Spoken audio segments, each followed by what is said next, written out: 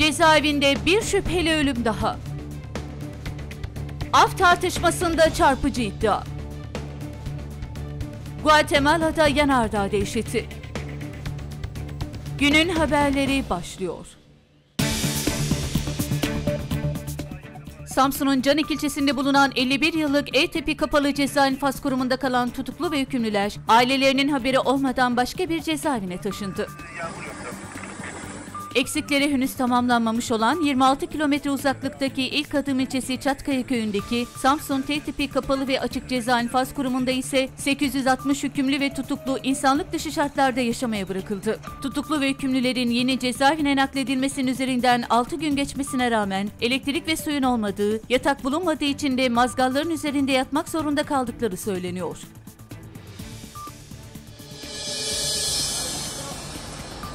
Baylo kullandığı iddiasıyla tutuklandıktan sonra cezaevinde şüpheli biçimde hayatını kaybeden isimlere bir yenisi daha eklendi.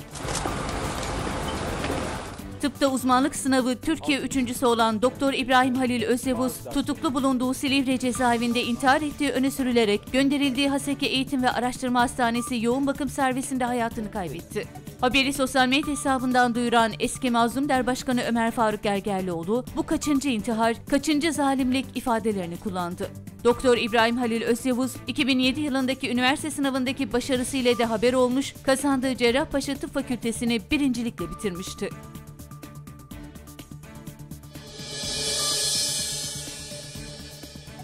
Aydınlık gazetesi, AKP iktidarının 9 maddelik af tasarısı hazırladığını ve kanun hükmüne kararnameyle uygulayacağını iddia etti. Habere göre 9 maddeden oluşan taslakta 1 Ocak 2016'dan önce işlenmiş suçlarda ve devam eden davalarda ceza üst sınırı 5 yıl olanlara erteleme gelecek. Böyle bir affın Konuyu gündeme taşıyan MHP Genel Başkanı Devlet Bahçeli de ısrarını af konusunda geri adımımız düşünülemez açıklamasıyla yineledi. desteğiyle çıkmasında yarar vardır. Dil bilimci ve yazar Sevan Nişanyan ise gelişmeyi konuyu ortaya Devlet Bahçeli atmadı. Ondan 10 gün önce Yiğit Bulut attı. Hükümet elbette istemem bilmem yan cebime koy demek zorundaydı. Çünkü yaşayan görecek. Affın muhatabı bir takım çağı geçmiş mafya babaları değil. Kader kurbanı denilen hırsız uğursuz takımı da değil. Tayyip Erdoğan ve adamlarıdır. Elbette teklif onlardan gelmeyecek. Millet kuşa bakarken onlar kaşla göz arası aradan sıyrılacaklar sözleriyle değerlendirdi.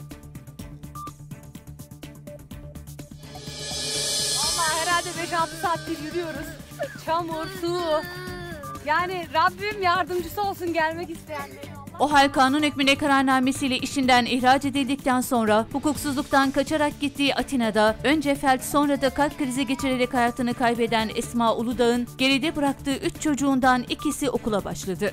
Babalarıyla Almanya'ya giden çocukların okula başlaması Esma Uludağ'a ait Twitter hesabından duyuruldu ve yola çıktık bugün itibariyle okulumuza başlıyoruz. Rabbim yar ve yardımcımız olsun ifadesi kullanıldı.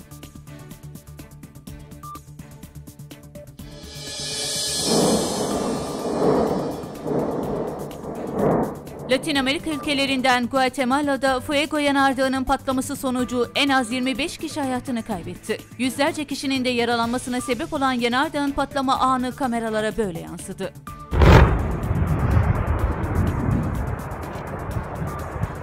Yayınlanan görüntülerde bir lav akıntısının üzerindeki cesetler ve külle kaplı insanlara yardım etmeye çalışan görevliler görülüyor. Yanardağ'daki patlamanın 1974'ten bu yanaki en büyük patlama olduğunu söyleyen yetkililer yaklaşık 2 milyon kişinin etkilendiğini duyurdu ve halka kül yağmuru nedeniyle maske takmaları çağrısı yaptı. Diyarbakır terör örgütünün siyasi uzantıları başta olmak üzere Cumhurbaşkanı Erdoğan Diyarbakır'da konuşurken prompter arızalandı. Bir süre ekrana baka kalan Cumhurbaşkanı daha sonra yakın korumasını yanına çağırarak azarladı.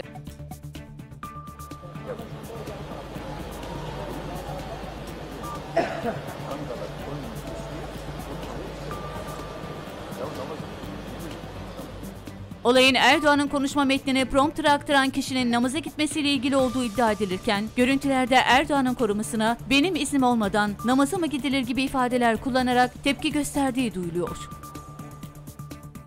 Burada bir cam var, cam, prompter. Bir cam da burada var. Olayı Van mitinginde gündeme getiren CHP'nin Cumhurbaşkanı adayı Muharrem İnce de Erdoğan'ı prompter kullanmadan konuşamamakla eleştirdi. Cam, cam bozuldu. Camdan konuşanlar bu sorunu çözemez. Camdan konuşanlar bu sorunu.